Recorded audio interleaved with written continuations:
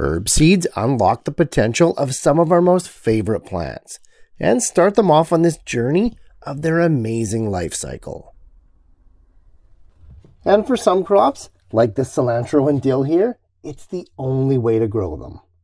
But for some herbs, they have the ability to skip this step entirely, unlocking unlimited potential in the process.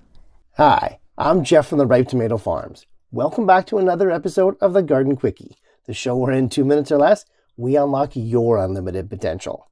And today's video is all about herb cuttings. More specifically, my top five herbs that allow you to skip the seeding process altogether by rooting the cuttings instead. Time short as it always is, so let's get into it.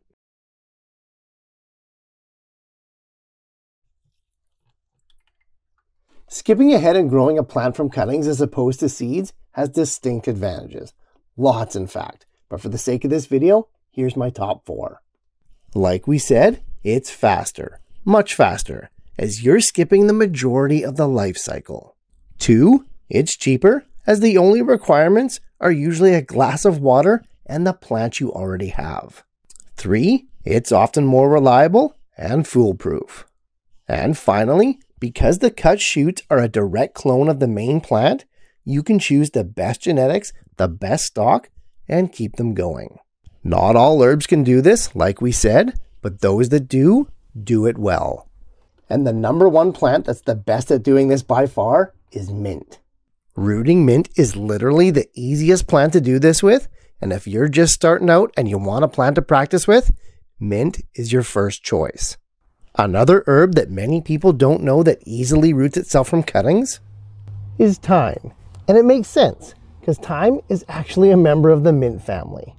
Being a somewhat woody perennial, it's not quite as foolproof as mint. Best done in the spring when the shoots are actively growing, try to select the new lush green shoots for the most success.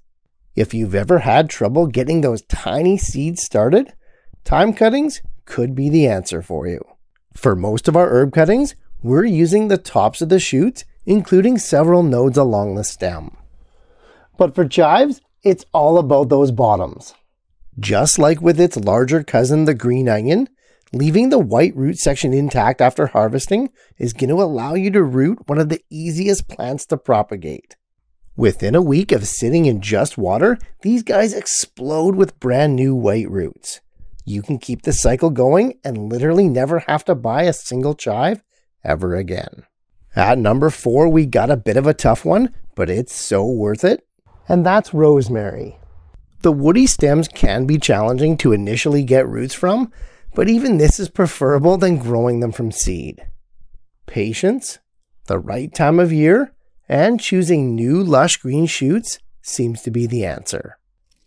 And finally, our fifth herb on the list to grow from cuttings rather than growing from seed is basil.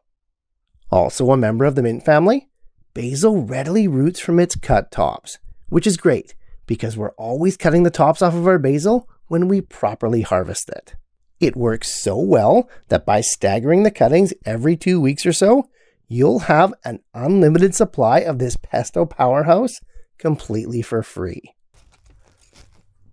Know what else is completely free? Checking out the next episode of the Garden Quickie.